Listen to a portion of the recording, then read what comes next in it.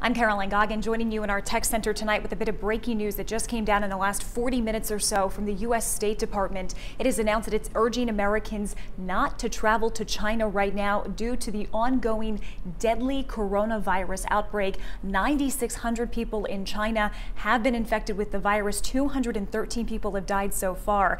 Now, if you take a look at this map, and it shows these shaded countries where the coronavirus has been detected so far, including Canada and the U.S. Now, tonight on Eyewitness News at 11 on WPRI 12, we're going to hear from a local travel insurance representative who explains what you can do if you have upcoming travel plans in light of the deadly coronavirus outbreak.